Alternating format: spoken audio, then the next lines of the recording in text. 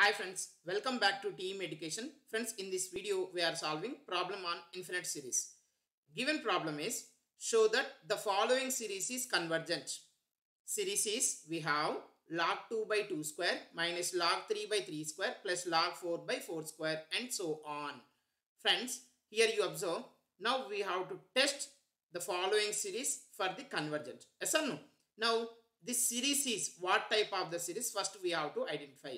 Here you observe friends log 2 by 2 square quotient is what 1 which is the sign is what positive sign. Here you have a negative. Next we have positive. Next negative. So the series is containing positive negative positive negative alternatively. So we can say this series is belongs to alternating series. This series is called an alternating series. Now we have to test the convergence of alternating series. Okay. How we can test? We have only one method. Okay. That named is Leibniz test. In the Leibniz test, suppose the given series is un is an alternating series. Now we have to prove this un uh, is a decreasing series. For that we have to prove un is greater than un plus 1. Okay friends. Next uh, second step we have a limit n tends to infinite uh, un you have to apply. If limit n tends to infinite un is equal to 0 means the given alternating series if it is satisfying these two conditions then we can say the alternating series is convergent by Leibniz test. By Leibniz test the alternating series is convergent. Okay friends. Now we are writing the given series nth term. Are they given nth term directly? No. Moreover you observe friends the numerator is containing log function. We know that uh, if uh, log n if you take n n is what actually belongs to natural number set. If you taken n is equal to 1 what will happen log 1 is 0. So here it is started with 2. I am considering n is equal to 2. Okay friends. So first I am writing the summation n is from 2 to infinite. Why I am taking from 2? Because if I take an n is equal to 1, log 1 is 0. That is the reason I started n is equal to 2. So 2 to infinite. Moreover here you have a plus minus plus minus alternating sign. So you write on minus 1 whole to the power of n minus 1. Okay. Into log 2 means log n divided by 2, 3, 4. 2 means n. Here you observe n if I taken first term is 2, second term 3, third term 4. Satisfied or not? Yes. Now what about the n power? 2, 2, 2. So write on log n square. Now friends, this is our alternating series. We can denote this series with a un or else this series if you written in minus 1 whole to the power of n minus 1 form, minus 1 whole power n minus 1 into vn.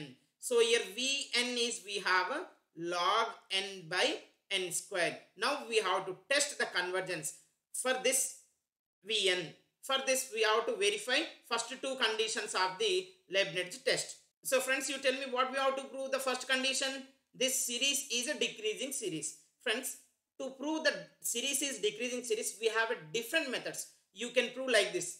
Vn minus Vn plus 1 is greater than 0 or by the observation we can say sometimes uh, suppose if they are given f of x is the function. This f of x is said to be decreasing function. For that what we have to prove means f dash of x is we have to prove less than 0. If f dash of x is less than 0 then you can say the series is decreasing series or f dash of x is 0 then you can say the function f of x is decreasing function. Here I have a logarithmic term so I am using this function type. Now this is f of I can consider this as f of n. Now I am uh, changing in terms of x. So f of x will be log x by x square. Now I am finding first derivative of f of x that is f dash of x which is now numerator and denominator is there. So denominator into numerator derivative what I have 1 by 2. Uh, log x derivative 1 by x minus numerator into denominator derivative is what 2x divided by denominator whole square. So x square whole square. I repeat again you see friends what is u by v formula u by v derivative is v into u dash minus u into v dash by v square. Or else you can say denominator into numerator derivative minus numerator into denominator derivative by denominator square. So friends now if I simplify then I will have numerator x square denominator x is there. So x minus this is the 2x log x divided by here x square whole square means x to the power of 4 from the numerator I can take x common. If I take an x common then I will have 1 minus 2 log x 1 minus 2 log x by x cube so here uh, x power 4 I can write as a x cube into x. So this denominator x, numerator x getting cancelled. Then I will have 1 minus 2 log x by x cube. Friends, actually we are taking x is greater than 0. x greater than 0 only we are taking. Now, if the denominator, you what is the denominator we have? x cube. For x is a positive, x cube is also what? Positive. But you do you know what is the numerator?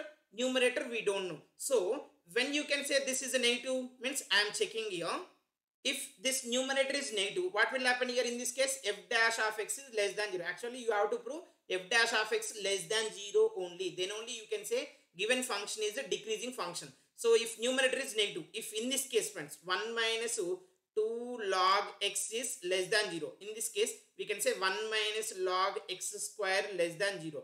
Which is implies 1 is less than uh, log x square. Now, taking anti-log, then you will have e power 1 is less than x square which is implies which implies root e is less than x okay friends from this we can say x is greater than root e friends you know that uh, is belongs to 2 comma 3 yes or no that is 2 less than e less than 3 yes or no now taking a square root on both uh, square root apply here then you will have root 2 is less than root e is less than root 3 so from this what we can say? X is greater than root e nothing but uh, this problem is applicable. Means x greater than root e is nothing but uh, x is greater than root 2 or else you can say which what is the root 2 here? 1.414 generally. So for every x greater than 1 it is applicable. Actually we are taken f of x is equal to log x by x square. But what is vn here? Vn is here log n by n square. So for n greater than 1 x is what here in our case? N greater than 1 for n greater than 1, the given series is what? Decreasing. Why it is decreasing? Previously, we are taken f dash of x less than 0. Which condition? If 1 minus 2 log x is less than 0. So, here for x greater than root e, for x greater than root e, nothing but n greater than 1. This Vn is decreasing series. Okay, first condition of the Leibniz test is over. Now coming to the second condition. What is the second condition we have? Limit n tends to infinite Vn we have to verify. Which is equal to limit n tends to infinite. What is the Vn here?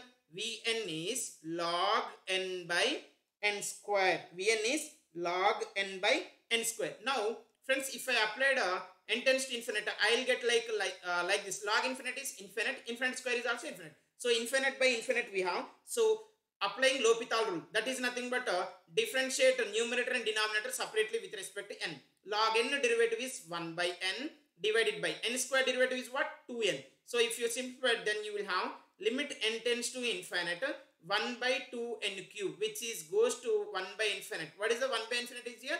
0. So from this what you can say limit n tends to infinite vn is also 0. First condition is Vn is a decreasing series. Second condition, limit n tends to infinite, Vn is also 0. So from this what we can say? Sorry friends, here you have 1 by 2n square. Even 2n square is also 1 by infinite. 1 by infinite is 0. So from this we can say the given alternating series is convergent by Leibniz test. Convergence by Leibniz test. Thank you for watching this video.